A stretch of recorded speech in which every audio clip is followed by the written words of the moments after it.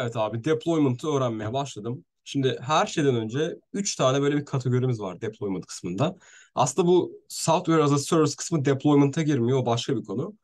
Ama bizim olayımız şu anda burada birinci ve ikinci seçenek. In- infrastructure, onun gibi bir şey, as a service ve platform as a service. Peki bunların farkı ne? Bunların farkına değinmeden önce şunu bir netleştirmek lazım.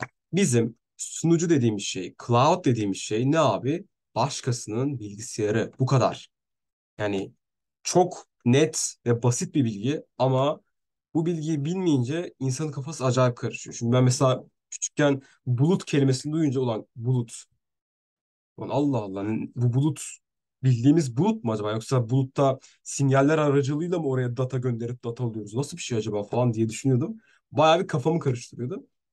Ama bu ufacık bilgiyi öğrendikten sonra he oldu böyle taşlar yerine oturmaya başladı. Bu bulut denilen şey başkasının bilgisayarı.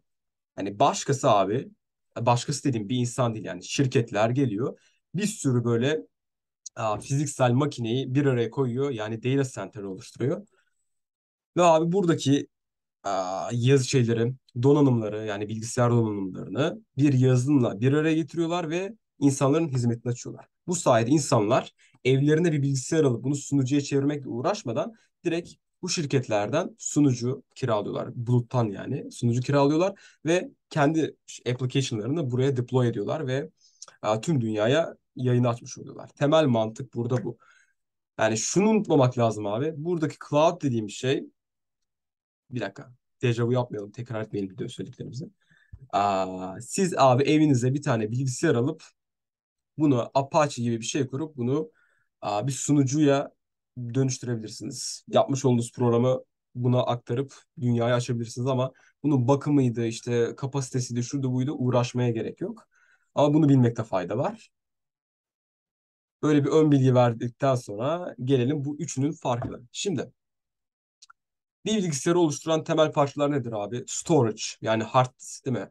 İşte serverlar yani servers dediği şey işlemci, RAM, anakart gibi şeyler.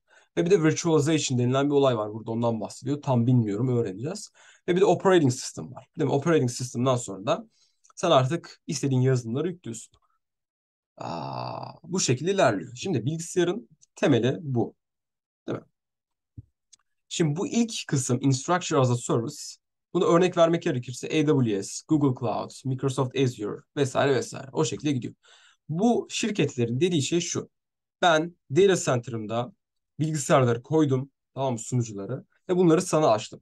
Ben burada sana ne sağlıyorum? Networking, storage, servers ve virtualization. Tamam mı? Ben sana bunları sağlıyorum. Senin bunlarla kafa yormana gerek yok. Yani işte network'a ne olmuş, storage'a ne olmuş falan. Senin bunlarla kafa yormana gerek yok. Sen sadece neyden sorumlu olacaksın?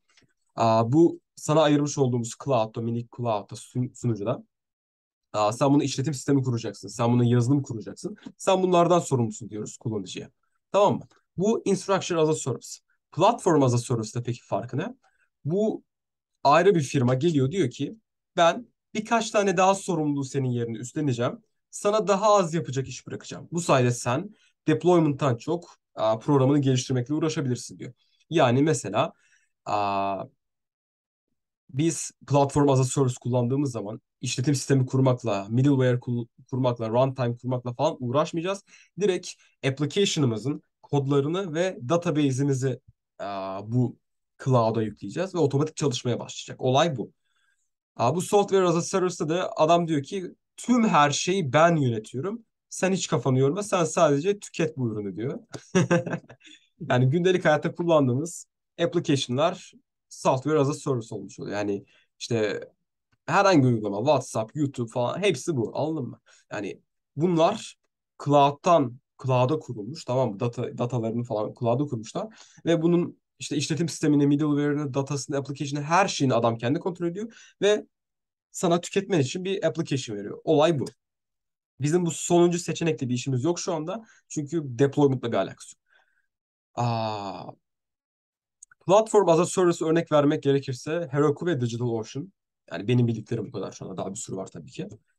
Aa, bu Heroku'da mesela Heroku AWS'in üstüne kuruluyor mesela. Diyor ki ben yapımı, altyapımı AWS'ten alıyorum diyor. Mesela atıyorum. Aa, öyle mi bilmiyorum daha. Aa, diyor ki AWS'ten alıyorum ben yapımı. Ve bu şeyin içine işletim sistemine Linux'u, işte middleware, runtime'ı, Docker'ı falan filan ben senin için hallediyorum. Sıkıntı yok. Sen sadece application'ın kodunu ve database'ine deploy edeceksin. Ve ben bunu çalışır hale getireceğim diyor. Olay bu. Ve tabii ki bunda işletim sisteminde, runtime'da, middleware'da falan filan çok bir aa, kontrolümüz olmuyor çünkü. Yani direkt adam kendisi bizim yerimize kontrol ediyor. İşte bu aşamada eğer biz daha fazla kontrol sahibi olmak istiyorsak deployment'ımızda gidip AWS gibi infrastructure service'ler seçiyoruz. Tüm olay bundan ibaret.